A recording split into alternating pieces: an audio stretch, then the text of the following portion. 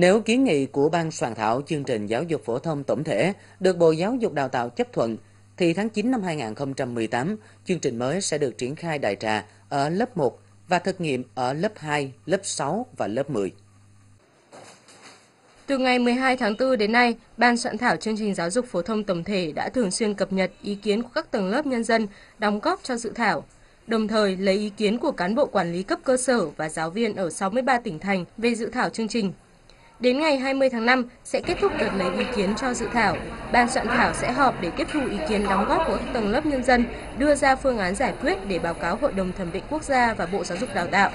Đến tháng 9 năm 2017, dự kiến sẽ hoàn thành dự thảo chương trình giáo dục phổ thông tổng thể và các chương trình môn học để ký ban hành. Nếu Bộ Giáo dục và Đào tạo phê chuẩn kiến nghị của ban soạn thảo là năm đầu tiên chỉ triển khai đại trà ở lớp 1 thì khả năng có bộ sách giáo khoa mới là hiện thực. Chương trình giáo dục phổ thông mới được đề xuất triển khai đại trà ở lớp 1 và thực nghiệm ở lớp 2, lớp 6, lớp 10 từ năm 2018.